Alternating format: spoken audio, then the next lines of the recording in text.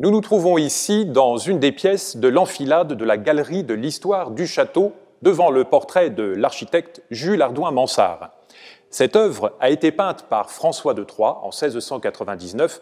Mansart est alors au sommet de sa renommée. Jules Ardouin est né en 1646.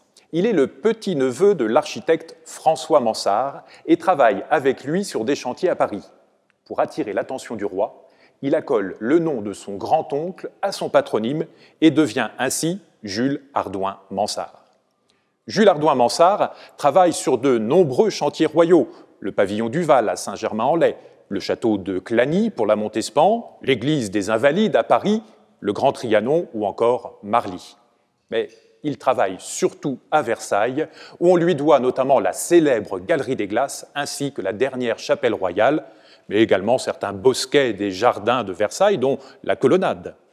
Au cours de sa carrière, il s'entoure de nombreux collaborateurs, parmi eux Robert de Cotte et Jacques V Gabriel. Il reçoit de nombreuses distinctions.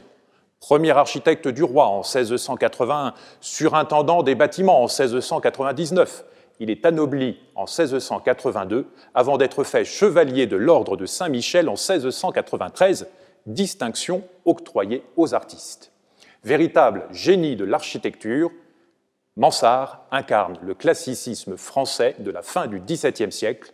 Il décède en 1708 à l'âge de 62 ans.